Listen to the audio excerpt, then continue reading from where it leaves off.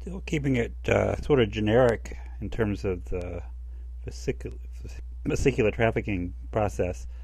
I want to talk a little bit about this part right here, specifically the adaptor protein adapter function.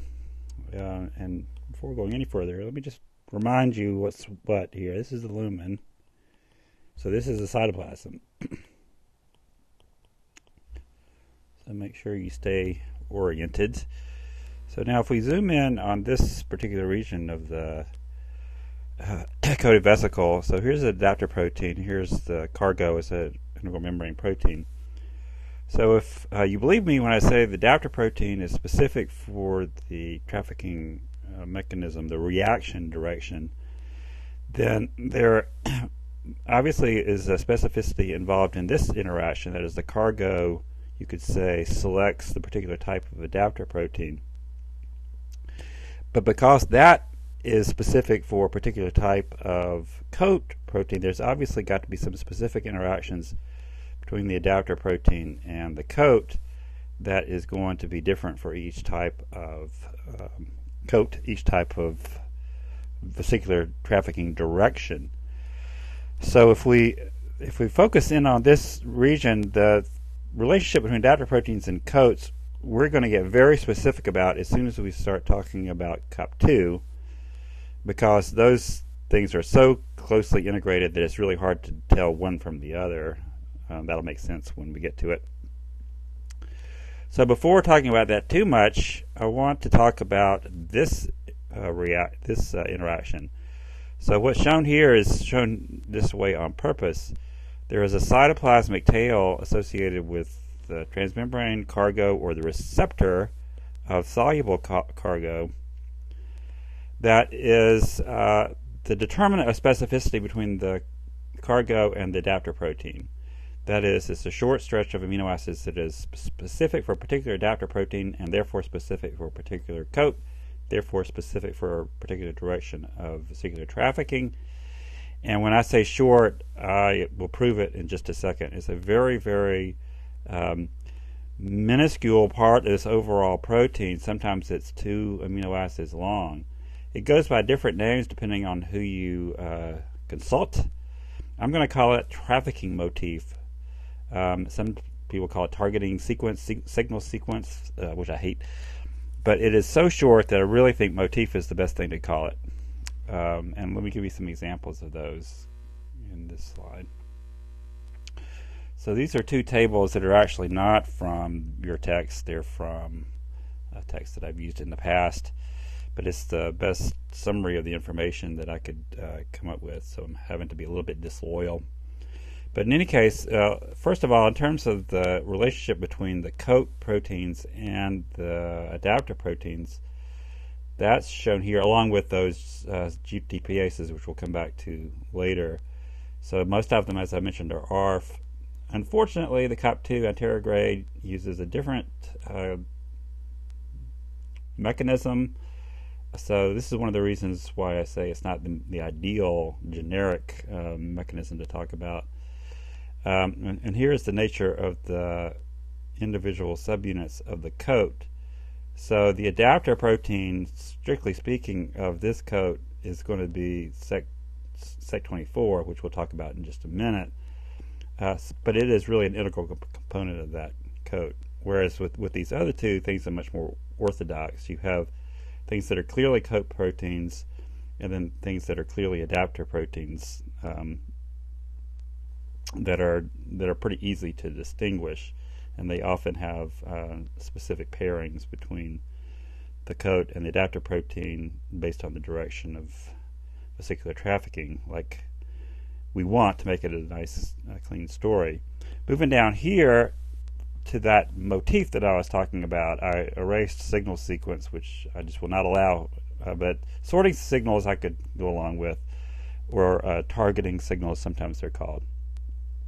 But let's just uh, start with where we're going, and that is the uh, the process of getting.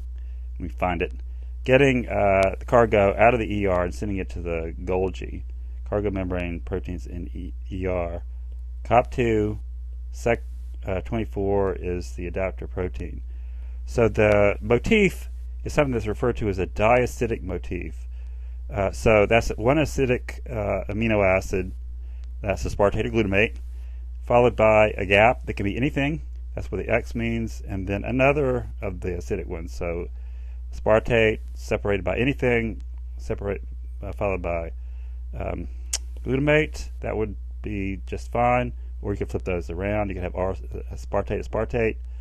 Uh, but all those would be allowed. So there's three amino acids in this motif, and only two of them are even um, as specific as the term acidic. So it's a very relaxed type of sequence specificity associated with it, but it, it works perfectly well in that the COP2 coat, the adaptor protein of the COP2 coat, specifically recognizes this sequence, doesn't pay any attention to any of these other possibilities, and using that uses that as the determinant for the direction of vesicular traffic.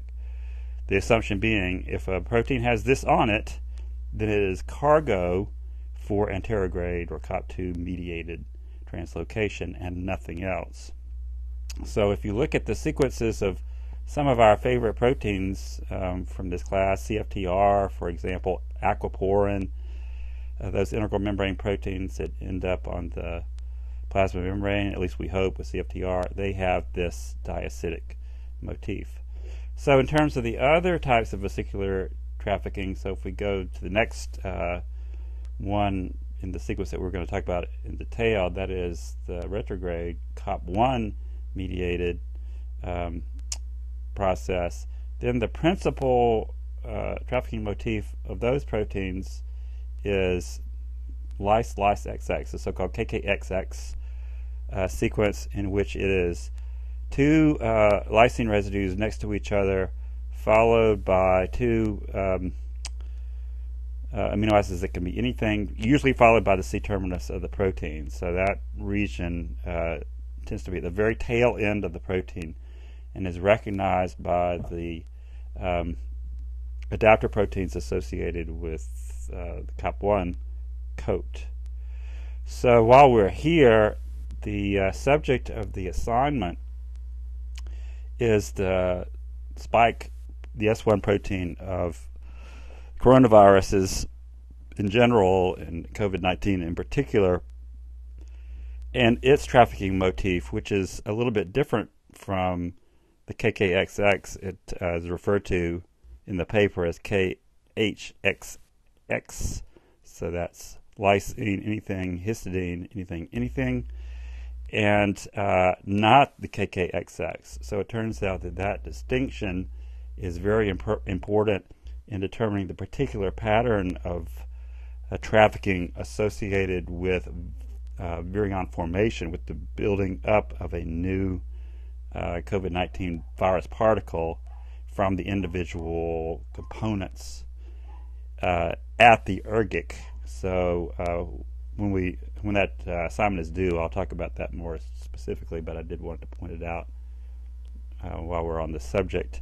And then uh, down here in the Clathrin domain, and actually up here too, there is a whole bunch of trafficking motifs associated with that proteins. And the reason there has to be a lot is, for one thing, there are quite a few different types of adapters. So this is adapter protein 2, adapter protein 1.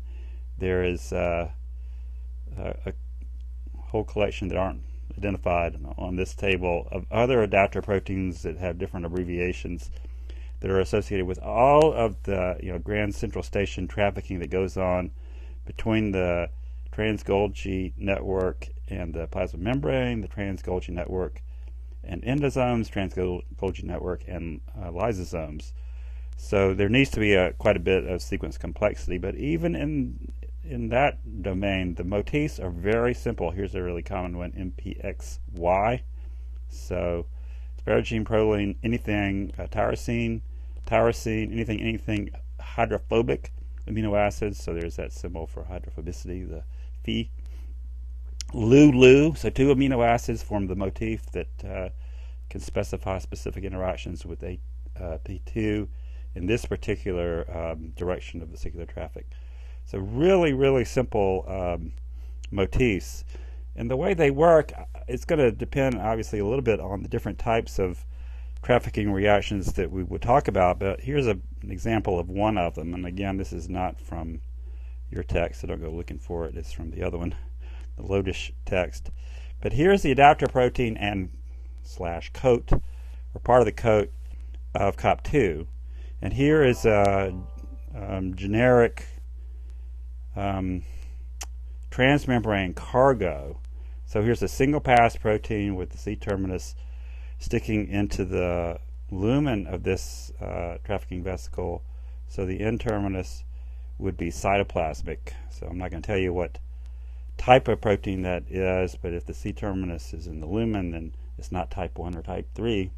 So in any case, here's the N terminus, and it is being recognized specifically by SEC24. Uh, so that's going to be the adaptor protein, and that's going to be the trafficking motif buried in the interior of SEC24 and not not determined in this structure. But that's the nature of the interaction, just in generic terms. And I'll try to find better pictures that have uh, zoomed in ribbon diagrams that show those things actually interacting with each other.